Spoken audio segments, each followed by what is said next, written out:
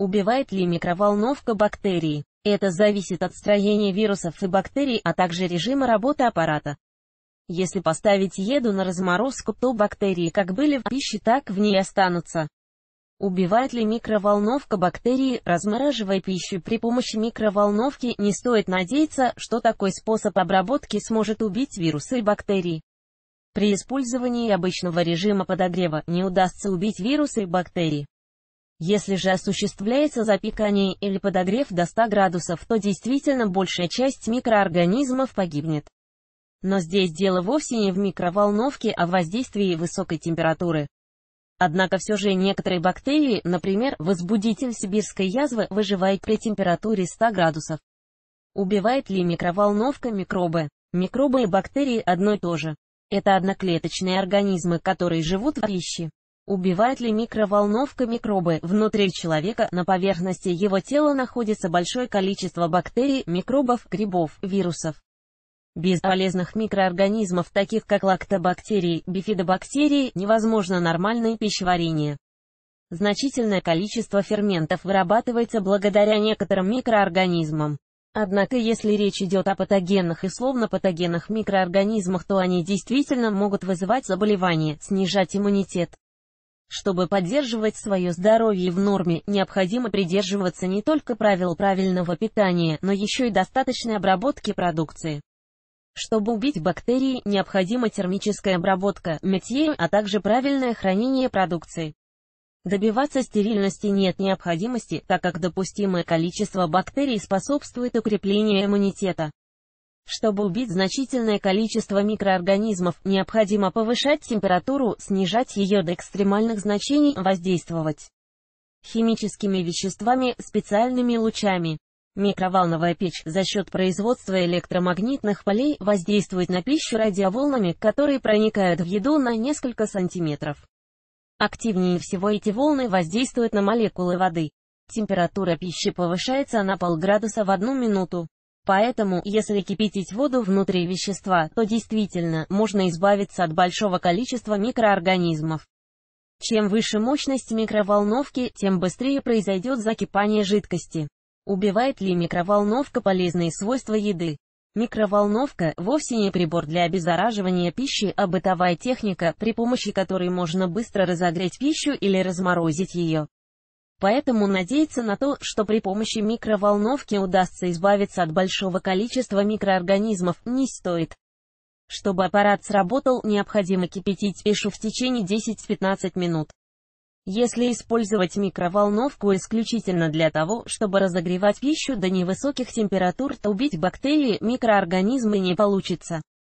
Если вы не совсем уверены в качестве пищи, то лучше всего поддавать ее термической обработке и не просто разогревать, а кипятить или обжаривать. Несмотря на то, что микроволновка есть в каждом доме, до сих пор существует масса мифов, связанных с этим бытовым прибором. Убивает ли микроволновка полезные свойства еды? Многие считают, что при помощи микроволновки можно избавить пищу не только от бактерий, вирусов, но и от полезных веществ поэтому всячески остерегается применения этого бытового прибора, разогревая пищу по старинке, на плите. Есть мнение, что от микроволновки нужно держаться подальше, так как она провоцирует рак. Радиация и волны, которые вырабатываются в микроволновке, это разное излучение. Электромагнитное излучение делится на радиоактивное и ионизирующее. Именно неионизирующий вид используют в микроволновке, поэтому аппарат не вызывает облучения, не несет вред организму. Эти короткие волны используются при работе мобильных телефонов, Bluetooth и Wi-Fi. Достаточно давно возник миф относительно живой пищи, о которой часто говорят сыроеды. Любая термообработка плохо влияет на качество продукции. Многие считают, что клетки овощей и фруктов после запекания умирают. Поэтому лучше всего использовать свежие продукты. Считается, что микроволновка точно так же воздействует на клетки пищи, делая их неживыми. Любой способ приготовления влияет на содержание питательных веществ. Самым вредным считают обжаривание в масле. Влияние на сохранность полезных компонентов имеет продолжительность нагрева, температура, при которой обрабатывается пища. Имеет значение площадь контакта продукции с горячей водой или поверхностью. Хуже всего отваривать полезные продукты в большом количестве воды. Именно в раствор уходит большое количество витаминов, которые чаще всего испаряются вместе с отваром. Минимального снижения количества полезных веществ в продуктах можно добиться путем запекания в духовке, обжаривания на сухой сковороде. Без масла приготовления в микроволновой печи. Это результаты исследований, которые были проведены учеными. Оказалось, что для сохранения всех питательных веществ овощи и фрукты стоит запечь в духовке или микроволновке. Пища в микроволновке готовится гораздо быстрее, что приводит к значительному сокращению потери питательных веществ. Убивает ли микроволновка вирусы? Вирусы, в отличие от бактерий, не могут жить отдельно от живых клеток. Они являются паразитами, обитые внутри тела человека или животного. Именно поэтому бороться с вирусами не совсем просто. Однако за пределами живых клеток вирусы уязвимы, их можно уничтожить, используя антисептики, а также вещества, которые меняют клеточную структуру. Убивает ли микроволновка вирусы, стоит учитывать, что в основном микроволновая печь воздействует на молекулы воды, способствуя их быстрому движению. В результате этого наблюдается закипание жидкости. Однако в структуре самих вирусов нет частичек воды, поэтому если просто поместить вирус в микроволновую печь, он не погибнет. Если вирус находится на поверхности пищи, в которой есть вода, то вполне вероятно, что после разогрева продукта в микроволновке вирусов на нем не останется. Но необходимо выдерживать продукты в печи на протяжении 5 минут. Чем меньше жидкости в пище, тем меньше эффективность обработки. Только повышение температуры среды, в которой находится вирус, может его убить. Некоторые покупатели перебирают буханки хлеба, выбирая лучшую. Конечно, на руках находится значительное количество инфекций, поэтому покупатели, которые приобретают хлеб в магазине, стараются обезопасить себя, убирая с поверхности болезнетворные микроорганизмы. Некоторые покупатели помещают хлеб в микроволновку прямо в полиэтиленовом пакете и выдерживают 4-5 минут. Это может сработать, так как внутренняя часть нагревается очень быстро, но поверхность чаще остается холодной. Поэтому можно не убить вирус на поверхности хлеба, а приготовить из него сухари или сжечь. Убивает ли микроволновка коронавирус? С появлением коронавируса возник странный способ дезинфекции масок, обработка в микроволновой печи. На самом деле это не работает, ведь внутри маски нет молекул воды. С маской под воздействием магнитных лучей ничего не произойдет. Убивает ли микроволновка коронавирус? Если поместить в микроволновку маску с металлическими зажимами, можно испортить бытовой прибор. Лучше всего нанести на маску антисептик или постирать ее. Рекомендовано использовать одноразовые маски на протяжении двух часов, после чего выбрасывать.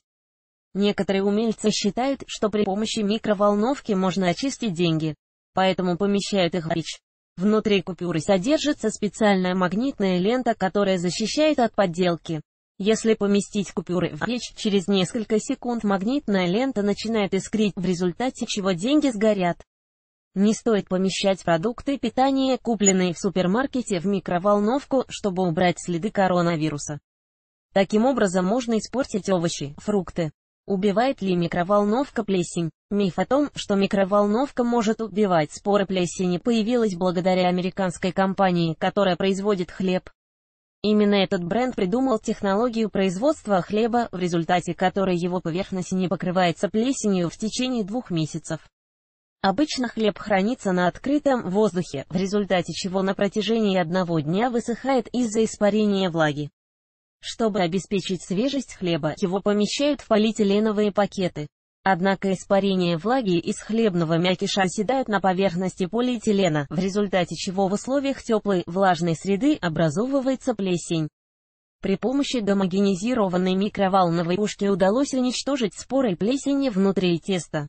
Гомогенизированную микроволновую пушку изобретали для уничтожения возбудителей микроорганизмов, но выяснилось, что это устройство убивает споры плесени.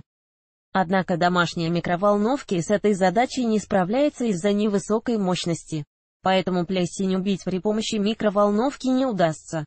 Убивает ли микроволновка плесень? Микроволновка разогревает и воздействует на пищу не совсем равномерно, а участками. Причем нагрев выше там, где находится больше воды поэтому использует вращающуюся тарелку, чтобы воздействие было максимально равномерным.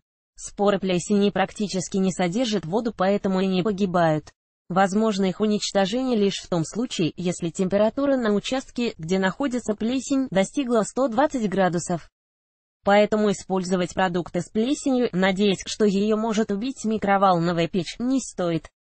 Лучше всего выбросить такие продукты питания.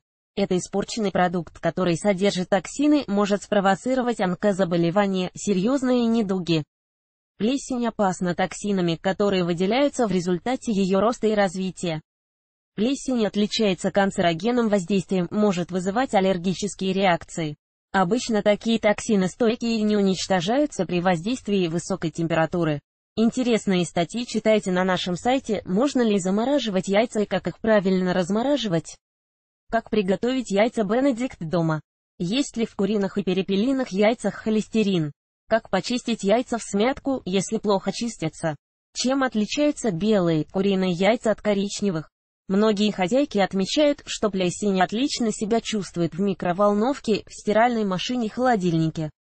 Даже несмотря на воздействие низких и экстремально высоких температур, а также магнитных лучей, плесень остается в целости и сохранности. Именно поэтому использовать микроволновку для удаления спор плесени неэффективно.